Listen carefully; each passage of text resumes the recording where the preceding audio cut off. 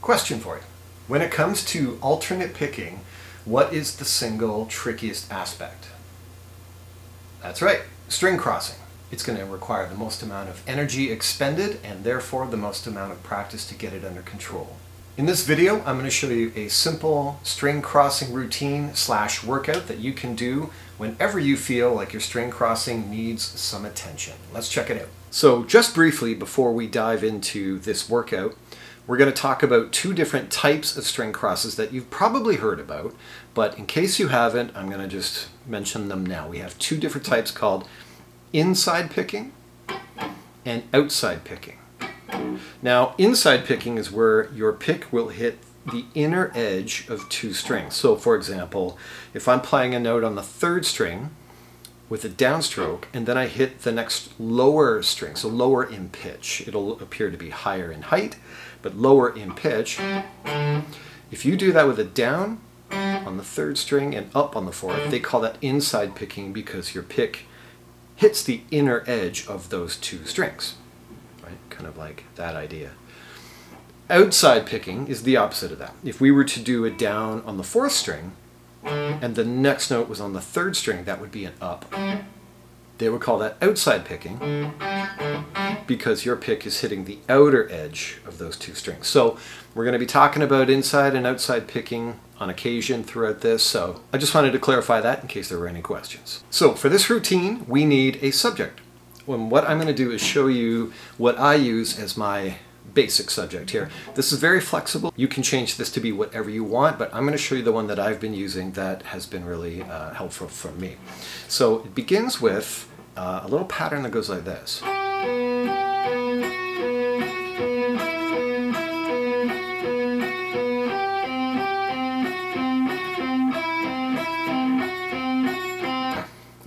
Kind of melodic, kind of cool to listen to. That's going to make it easier for you to put in the amount of time you're going to need in order to get anything from this. Uh, it's probably helpful if it sounds cool. So let me explain what's going on here. We've got 12th fret on the third string G. Then we're going to bounce it off of the ninth fret on the D string, which is a B. We're going to do it two times. So regardless of whether you start on a down or an up, I'm going to start on a down for this, I suppose. I'm going to do it two times. Then what we're going to do is we're going to change the notes on the highest of the two strings, the G string. We're going to change it from the 12 to 11, which is F sharp. So now we're going from F sharp to B two times. And we're going to change it again. We're going to go to the ninth fret. Now we've got both notes at the ninth fret, so it's going to produce E over to B again. I'm going to do that two times. And notice that my left hand index finger is doing a little roll there. That's going to help keep the notes separate and not ring together. So, so far we have this. Now to wrap it up, we're going to go back to the 11th fret. And that's going to complete round one.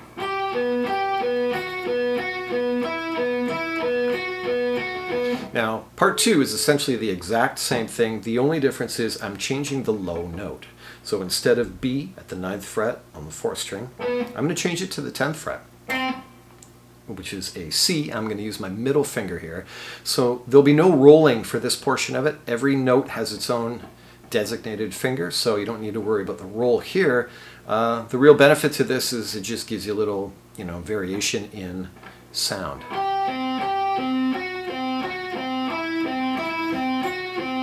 So again, I'm bouncing each of the higher notes off of the static low note, in this case C.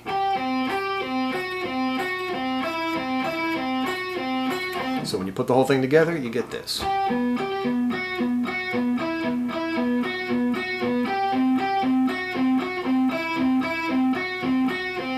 there you have it. This is going to be our guinea pig for our workout. So internalize this, memorize it, and then we're going to be able to get started. So now that we have established the melodic material that we're going to use for this, uh, one thing you're definitely going to need is, surprise, surprise, a metronome. Does not matter if you have a physical one like I do, or you got one on your phone, or wherever on your tablet. It doesn't matter. What you're going to do is we're going to start at a nice slow tempo. Again, I like using 60 beats per minute to start. This is pretty standard. Nothing really new here. But what we're going to do is we're going to play through uh, the lick just a couple of times. We don't need to spend a heck of a lot of time here. We just need to establish uh, a baseline tempo to be able to launch from. So you might go something like this.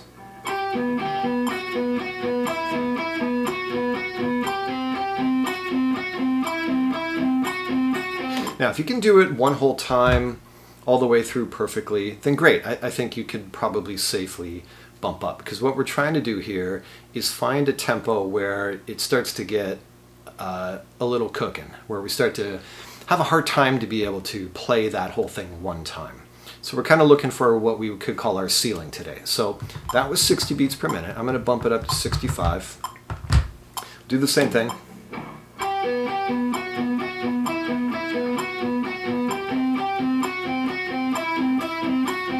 Sometimes I'll do a little more than one round just to make sure it wasn't a fluke, if you know what I mean. Right? So, but again, we're not spending a heck of a lot of time. Go to 70.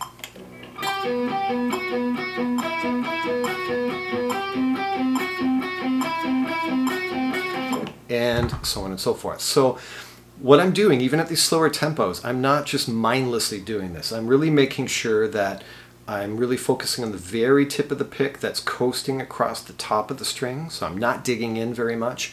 I'm making sure it's a wrist motion that's generating the picking motion and that I'm relaxed. Um, you basically want to actively try to do everything as correctly as you can and, and if you can even do it better than you did the last time, that's really the optimal thing. Now, one thing I should point out here, so far in all these examples, I'm using inside picking. I'm starting on the downstroke, and on the fourth string, it'll end up being an upstroke, which is inside picking. Um, it, needless to say, when you get through this whole routine, when, when we get to the end of it, you're going to be doing it all again, beginning on an upstroke. Whether you do it right after the downstroke one, or maybe every other day you focus on downstroke on one day, and an upstroke start on the next day. It's up to you how you divide your time and, and get through it, but you do want to spend equal amount of time on both inside and outside picking for this. Um, but basically what we're going to do is we're going to take it from a nice low BPM, 60 beats is what I started with. You could go lower than that if you want. And you're going to take it until you get to a point where it gets tough to get through that one full round. So uh, I'm going to bump it up to, let's see, I'll just say 100, Give me one sec. There we go.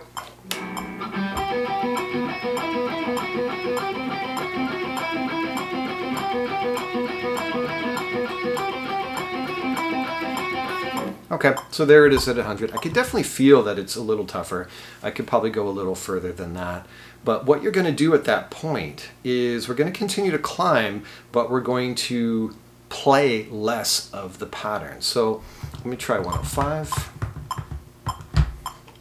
What I might do here is go.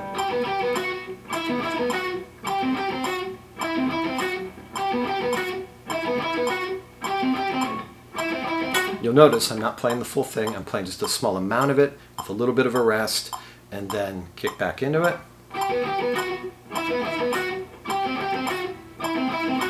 Okay, if I can do that, maybe I'll go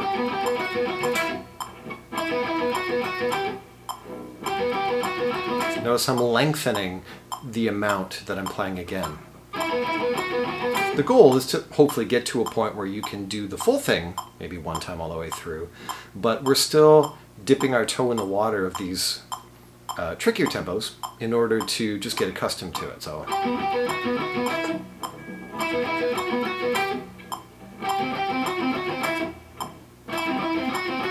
Now, as you get higher and higher, that's probably going to be all you're going to be able to do. Uh, again, we're trying to reach a higher tempo that we couldn't do the entire thing. Uh, we couldn't perform the entire lick to, but that's okay. We don't need to. All we're trying to do is sort of like knock on that ceiling and hopefully eventually over time break through it, and I, guarantee you, you will. So here it is, 110, same thing. I'm gonna, I'm gonna do shorter amounts.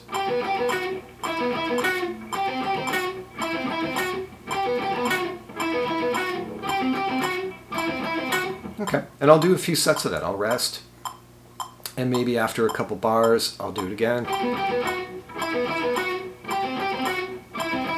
Right? And I'll do this for a while, and then I'll see if I can do the long, slightly longer version.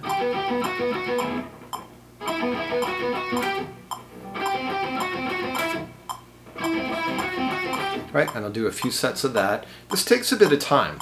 Um, don't be afraid to rest in between as well. Uh, take a minute and, you know, look, pet, pet a cat if you have one or whatever. Do something else for a second and then come back. The rest is just as important as the work because it's the rest that absorbs the amount of work you're doing and translates it into new skill. If you don't rest, you're not gonna, you're just gonna burn out. You're not gonna reap the reward. So that's basically the idea. You keep going. Here we are at 115.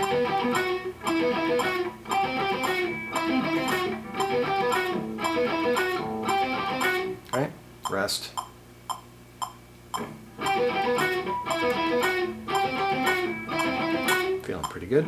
Maybe I'll try the longer one.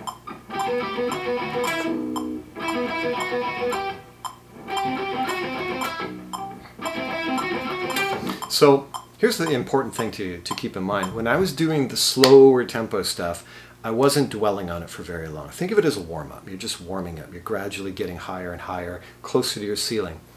When you get to these trickier tempos, and let's face it, when you're playing constantly, you know, string crossing, uh, it takes a lot of energy. There's a lot more energy than to just go, you know, and play multiple notes on a single string and then occasionally cross strings. Um, when you're doing nothing but crossing strings, imagine here's a puddle and you just constantly are jumping over the puddle without any rest. That, would take a lot of energy, right? So that's kind of what we're doing. There's really no resting point. Um, so for this kind of thing, it's going to take you longer. You're going to spend longer amounts of time on those higher tempos. You're not going to blitz through them like you did going from 60 to 65 you're going to spend several minutes um, or more on any of the higher tempos, the ones that you're struggling with a little bit. That's part of it. You don't want to rush through this stuff. Uh, you can't. Let's put it that way. You can't rush through it. You have to uh, accept the fact that it takes the time that it takes. So at this point, um, you just keep finding your ceiling, and then you you go as high as you can, and then give yourself a good rest, maybe for the rest of the day, uh, in terms of this exercise, and later, maybe the next day, come back and do the outside picking one. Um, if by all means you have all day to practice and uh, you know you're a glutton for punishment, then do both. It's up to you. You have to experiment with how you prescribe this sort of thing. But the idea is have an exercise similar to this that you can use that's constantly, uh, consistently string crossing, and start slow, work your way up, hit that ceiling, and then decrease the amount of work while you continue to push higher. You can probably play faster than you think you can if you give yourself less of a task, right? You're not going to do the whole lick at a higher tempo. Eventually, you're going to have to pull back on, on the amount that you play, but you'll probably be able to do a surprising amount at that higher tempo. And I think you'll find that over time, your string crosses are going to feel a lot easier. And that is going to make your speed go up as well as your articulation. So check this out. Let me know in the comments how this worked for you, and uh, I'll see you in the next one.